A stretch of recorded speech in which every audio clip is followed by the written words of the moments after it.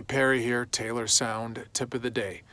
What's the difference between a condenser mic and a dynamic mic? Well, this right here is a condenser mic. You'll see this in studios and vocal booths. The one behind me is also a condenser mic.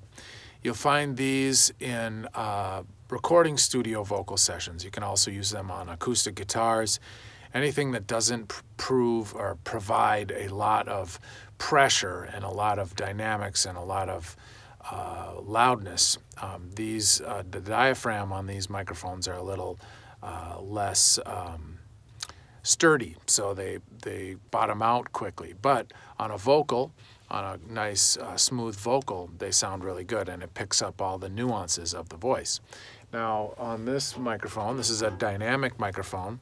Um, you'll see these in live music settings and you'll see the singers using these and that's because if he or she gets loud or soft it's going to kind of compress the sound a little bit so it's not going to bottom out the diaphragm on these microphones um, you can also use these on guitar cabinets snare drums um, some people use them on toms uh, you can go either way on toms but anyway dynamics are for uh, live singing uh, live guitars, uh, amplifiers, studio amplifiers, snares, um, uh, sometimes toms.